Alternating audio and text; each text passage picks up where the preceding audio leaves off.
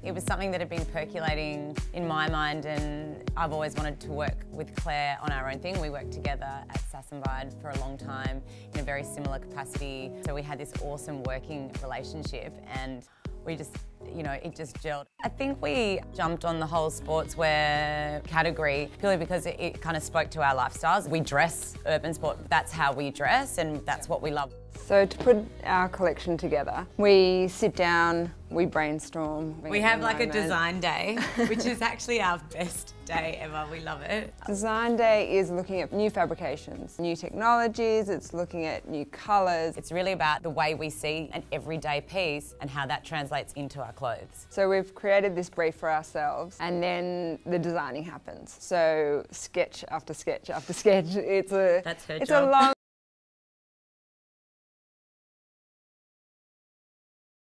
write notes on my sketches. I can pull my CADs together, my colour palettes. After, after the sketching process, it is tech packing. Yeah. So it is every intricate From detail. stitch to button to stud. But it's vital.